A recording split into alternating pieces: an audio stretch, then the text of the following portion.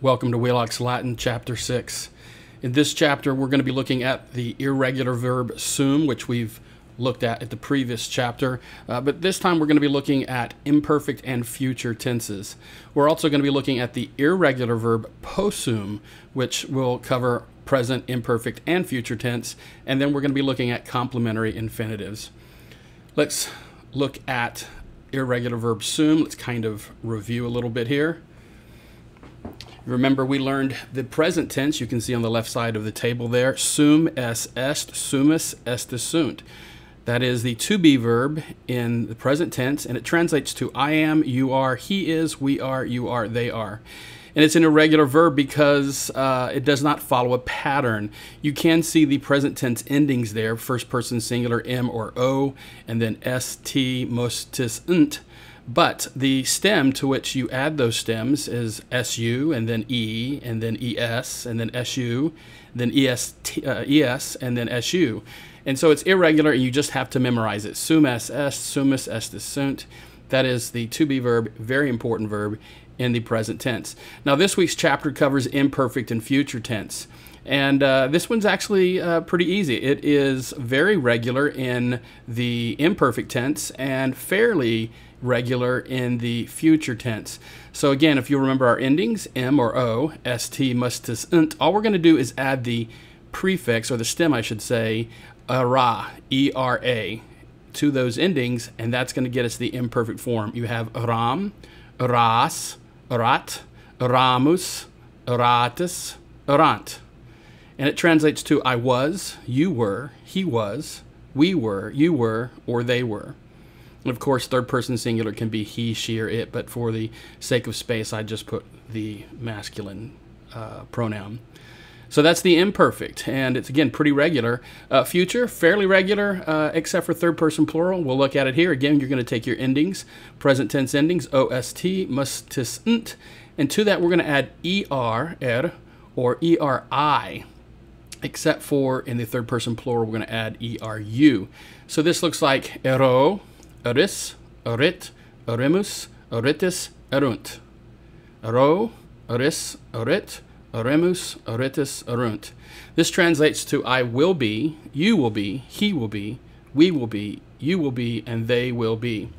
So you're going to need to take the time to memorize these. Again, fairly regular uh, for the most part in future, uh, very regular in the imperfect tense we, the re, again, the reason why we call this an irregular verb is because the present tense is very irregular in most uh, in most forms.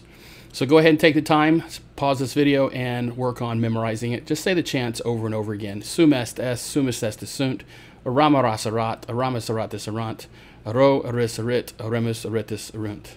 You can go ahead and pause this and work on that. All right. One more irregular verb that is used quite frequently is the verb possum. Now, this is the verb that means to be able or can. And the uh, this this verb does not have four principal parts. It only has three. It's not going to have any uh, part um, uh, passive forms. So it's possum, posse, potui. Those are the principal parts. And and this is actually uh, the adjective, the irregular adjective potis, which gets contracted down to pot, pot and it's pot plus sum. And that POT, the T, sort of merges or coalesces with the S in sum. You just think about way you say that, pot sum, pot sum, pot sum, possum. Eventually that T sort of drops and merges into another S, so it becomes possum. And so this is the irregular verb possum, meaning to be able. Now here's the form. We're basically going to take a POT and add it to sum. So POT sum, POT s, POT est, POT sumus, POT estis, POT sunt. But here's the thing. It's with the s in sum, the s in sumus, and the s in sunt that you're going to have the t in pot is going to merge into an s. And so that's going to change it to this. It's going to be pos possum, potes, potest, possumus, potestis, possunt. And that'll give us the final form here when we add them together. Possum, potest, potest, possumus, potestis, possunt. This translates to I am able, you are able, he, she, or it is able, we are able, you are are able, they are able. Again, you can also translate this I can, you can, he, she, or it can. We can, you all can, and they can. So again, this is an irregular form. You just need to memorize it. And I just kind of have this thing that I give to students to help them remember. They have a have a tendency to kind of forget. D does the the T stay when it's with an S, or does it stay with the E? And so I, I kind of help, help them uh, just remember this. If it begins with an E, go with a T. So, for instance, second person singular. If it begins with an E, S begins with an E, then go with the T, P-O-T, so you have potest. If it begins with an E, third person singular, est, go with the T, so it's potest. And again, second person plural, if it begins with an E, estis, then go with the T, potestis. So that's just a little mnemonic device that I use with some of my students. Some students find it helpful. You're welcome to use it if you would like. So here are the forms in present, imperfect, and future. And I think you're going to find it pretty regular again in imperfect and future. So again, possum, potest, potest, possumus, potestis, possunt in present tense. In the imperfect, you're going to take the imperfect form of sum, which we just learned, aramarasarat, aramasurat and add the POT. Notice all of these forms begin with an E, aramarasarat, etc. So all of the forms uh, are going to start with the POT. So potaram, potaras, potarat, potaramus, potaratus, potarant. And this translates to the imperfect I was able, you were able, he was able, we were able, you all were able, and they were able. That's the imperfect tense for possum. And again, future, we're going to take that POT and add it to the future forms of the irregular verb sum. So it's ro, oris, arit, oremus, oritis, arunt. And again, all of those begin with an E, so we're going to go with the T, P-O-T on all of them. So we end up with potero, poteris, poterit, poteremus, poteritis, poterunt. And this translates to I will be able, you will be able, he will be able, we will be able, you all will be able, and they will be able.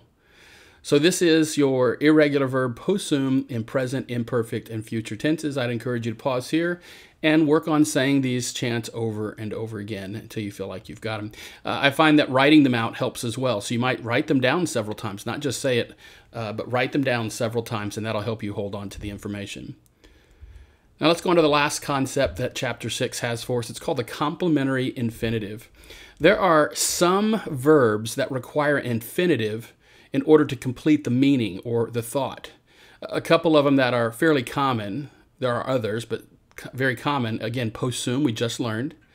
Debeo, there should be a macron over that E in debeo, and then audeo. Possum, of course, means I am able.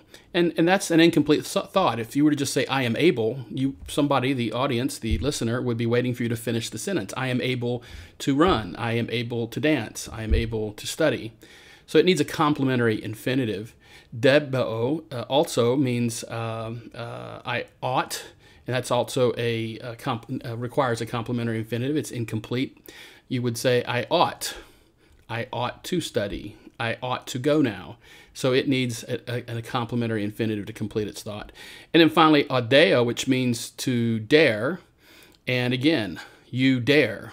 You would say you dare to, I don't know, you dare to challenge me. You dare to leave. You dare to come in front of me. Uh, that would require a complementary infinitive. And so uh, here's a couple of examples in Latin, rex potest superare Romam the king, Rex, is able, potest, the king, he is able, superare, to conquer Rome. The king is able to conquer Rome. Next example, Deb de, debes, conservare, pecuniam tuam. Debes, you ought, conservare, to save uh, your money, tuam pecuniam. You ought to save your money.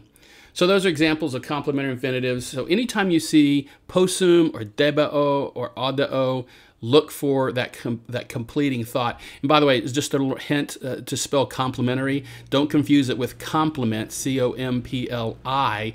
Notice this is C-O-M-P-L-E, complement. Uh, we get the idea of complete, complete. And so these infinitives are needed to complete the meaning or thought of these verbs. Take the time to work on your vocabulary, and we'll see you at the next class.